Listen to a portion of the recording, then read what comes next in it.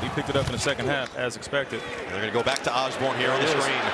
He squeezes through and gets to midfield. I mean, what a coming out party. So KJ Osborn has always been a really good wide receiver. And he's down. He's down. Nine catches, 141 yards and the touchdown. He's grabbing at his calves, which I take as a sign of cramping. I'm no doctor, but You've been there before. Yeah. Especially a game like this. Yeah. You know, it lasts a little longer than expected. Uh, hopefully, that's all it is. Look at this day, though. Nine receptions, 141 yards.